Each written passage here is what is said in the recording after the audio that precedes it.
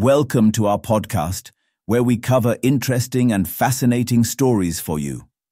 In this episode, we will discuss UK surgeons remove brain tumour via eye socket. Medics in the UK have successfully removed a brain tumour using keyhole surgery through a patient's eye socket, a procedure that had never been done before in the country.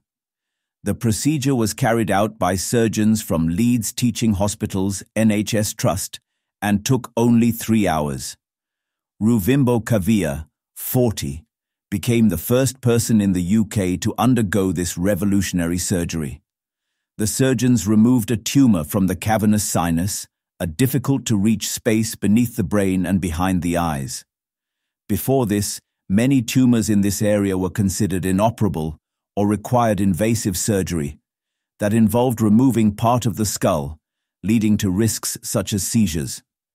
Before the surgery, the medical team practiced using 3D models of Kavia's head and conducted training in a cadaver lab to ensure the success of the procedure. Kavia was diagnosed with meningioma after experiencing severe headaches, and a second tumor was discovered. The new surgery was suggested after consultations with experts in Spain, and the operation was performed. Despite her family's initial skepticism, Kavia was determined to go ahead with the surgery. I just have to do this. It's either I do it or it keeps growing, and maybe I will die, she said.